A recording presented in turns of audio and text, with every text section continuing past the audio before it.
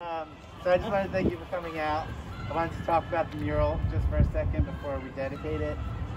Um, the whole point of I'm going to take this down actually step Yeah. back. The whole point of the mural was, uh, you know, obviously, I think the one thing that all Americans can agree on is that we can't really agree on anything. So I just felt that it was things were getting a little out of control with the stability of the world. So I just I decided over the summer that I wanted to make a statement, and I wanted to make a statement of peace. So I started to think. Uh, literally, the first thought that popped in my head when I thought of peace was obviously Penn Treaty, the William Penn uh, peace treaties that were held here at uh, Penn Treaty Park at the Shackamaxon Tree. So I thought, okay, well, William Penn, the Penn treaties. I googled it. Quickly realized that Tamanend, who was the chief of the Turtle Clan, you know, made that agreement with him. It wasn't a decree, it was an agreement between two people.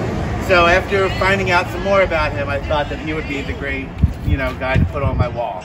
So I just wanted to read a little. It's kind of a book report, a little bit, a little bit of wiki information, but just so y'all kind of know. So Tamanend was the chief of the Turtle Clan of the Lenni Lenape Nation. Uh, in the 1860s, he took part in a meeting between the leaders of Lenni Lenape Nation and the leaders of the Pennsylvania colony held under the large elm tree at Shackamaxon, which is now Penn Treaty, only steps from where we stand. Penn and Tamanend signed seven more documents assuring each other and their peoples of peaceful understanding. Tamanend is reported as having said that the Lenni Lenape and the English colonists would live in peace as long as the waters run in the rivers and creeks and as long as the stars and moon endure. He assumed mythical status to the people of Philadelphia, who began to call him King Tammany, Saint Tammany, and the patron saint of America. They organized a Tammany Society, a Tammany Society, and an annual Tammany Festival. By the early 1770s, uh, Tamanend festivals were being held in Philadelphia on May 1st, replacing the May Day traditions of Europe, but continuing popular folk traditions. On May 1st, 1777, John Adams wrote a letter home to his wife Abigail Adams, which said, This is King Tammany's day. Tammany was the Indian king of this part of the continent where Mr. Penn first came here. His court was in this town. He was friendly to Mr. Penn and very serviceable to him. He lived here amongst the first settlers for some time and until old age. The people have sainted him and keep his day. On May 1st, 1778, General George Washington and the Continental Army held a Tammany festival while camped at Valley Forge. It is reported that the men spent the day in mirth and jollity in honor of King Tammany. After the end of the Revolutionary War, Tammany celebrations spread throughout the United States. In 2003, two resolutions were introduced in the United States Congress that sought to establish St. Tammany's Day on May 1st as a national day of recognition. As of yet, no action has been taken on either bill. I also wanted to read something from Julie Sky. Julie Sky McCormick is Tamanend's ninth great granddaughter. She's also, uh, she lives in Portland, I believe, and she's also trying to get Tamanend Day back into uh, national consciousness. So she wrote some words I just wanted to share. She said, she, I am honored to be distantly a part of this dedication ceremony today for the beautiful mural Don Allen has commissioned on his building of my ninth great grandfather. Tamanend's representation of diversity and equality for all living things, along with his humble nature, gave him what we all should give to each other respect. Everyone and everything deserves respect, humility, and kindness of heart. May 1st was once a day in which we honor Tamanend for his qualities and leadership.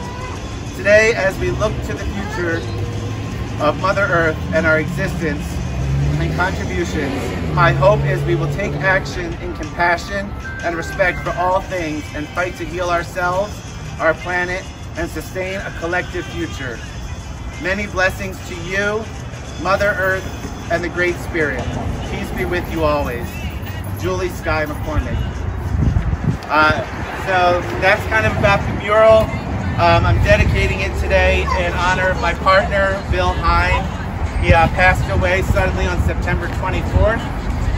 He uh, was a fire and medic dispatch uh, for the past 23 years for the city of Philadelphia. And he was really excited to see the mural. I'm kind of sad that he didn't get to see it. He actually died just like four days before we even started painting it. But uh, I thought he was a good person to dedicate it to, not only just for my own, you know, memorial sake, but he was a very charitable guy. He was actually a very curmudgeon kind of guy. he kind of hated everyone in the world. But that being said, he hated everyone in the world because he believed in old-fashioned values. He believed that people should be kind to each other, that people should look out for each other. And it really saddened him that we weren't doing that in this world. So he was the kind of guy who would literally when the uh, men's shelter was right down here, he would stop on his way to work with bags full of uh, clothing. He, uh, he, over the summer actually, when we got off of 95 at Allegheny, there was a guy standing at the ramp. He pulled over, gave the guy 10 to 15 minutes to dig through his bags to find whatever he needed. So he was that kind of guy. He was very, uh, very always looking out for other people. Even Elaine told me story that once back in his youth, he was at a party with a friend, and the friend uh, got a little drunk and passed out on the porch. And Bill sat by his side all night just to make sure that nothing happened to him. Bill was that kind of guy. He loved me more than anything in this world, and I know that because he made it very clear to me took great care of me, and I'm very thankful to have had him in my life, and I'm very thankful to be able to dedicate this mural to him. I hope it serves as a reflection of meditation. Um, it does for me, uh, not only for peace and friendship, but also it's been, uh, you know, for me, this idea of permanence and things that are bigger than us in a very literal way. It's both as permanent as you can get in this world, and it's bigger than us. So, with that being said, I'd like to unveil the plaque and uh, dedicate it to Bill Heine. And also the grilled cheese sandwiches. You can take those out now. We can have a little toast to him. These are um, from Cook and Shaker. This was his favorite restaurant. Uh, during the pandemic, he actually kept saying that he can't wait to be over so he could just go back and get a grilled cheese at Cook and Shaker. Um, and even when I was trying to shut out his accounts, I was able to turn off his uh, cable bill because they asked the security question, what is his favorite restaurant? And I was able to answer that, so I was able to shut off the cable bill, which was great. Um, and even one of the last meals I made for him as I was taking care of him was a grilled cheese. So I think it's only fitting. Play his song one more time just because this was his favorite song.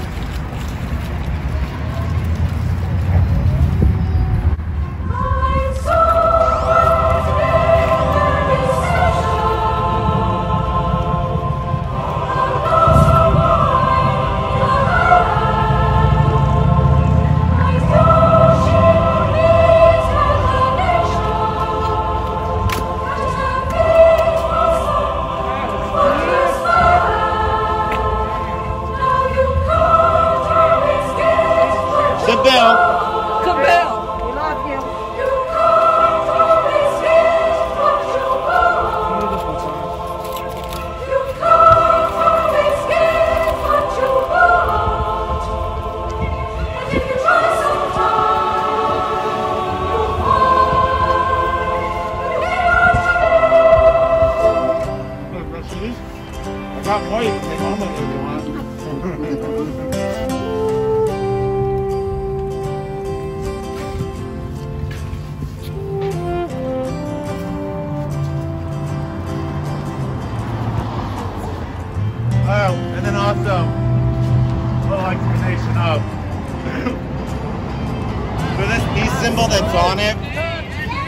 Actually a tattoo he, he had designed. It was on his leg.